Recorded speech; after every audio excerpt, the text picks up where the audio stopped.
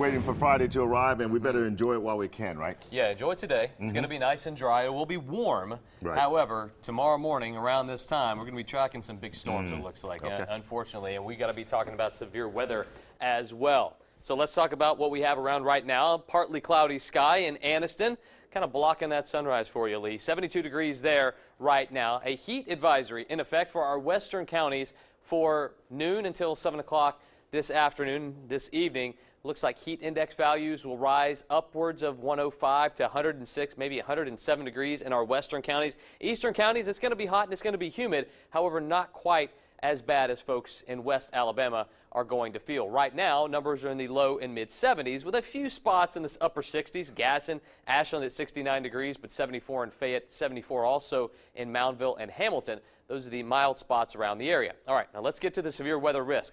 Into tonight and early tomorrow, the best risk, the moderate risk for folks in southern Indiana, Kentucky, and into Tennessee, West Tennessee. These storms will actually hold together, form uh, to our north and hold together and move south into central Alabama as we go throughout the early morning hours on Saturday. So you see, by Friday night, by tonight, right around midnight or so, you start to see the first storms approach our northern counties. These will pack a strong punch with damaging winds, also heavy rain, lots of lightning.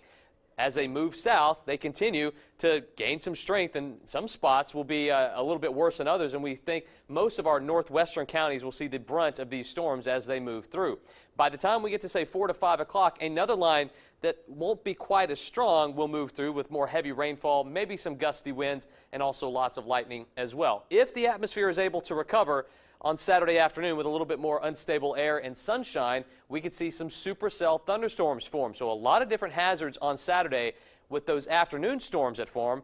We could see an isolated tornado risk. So a lot to unpack here over the next 24 to 48 hours for us. So early Saturday into the afternoon hours, that will be the time frame we'll be looking at with damaging winds in the morning, an isolated tornado possible if the storms form in the af- afternoon. That is heavily dependent on if the atmosphere does recover in time or not. 93 for this afternoon. Isolated storms, but mainly just hot and humid for today. Mid 70s when you wake up tomorrow morning, but a weather aware day with overnight storms at time frame midnight to around 6 a.m. Some of these will be severe. And the seven day forecast shows the weather aware day for Saturday. Sunday, just a few clouds around, temperatures in the upper 80s. Not bad for Monday, but then by Tuesday and Wednesday, more active weather returns to the forecast.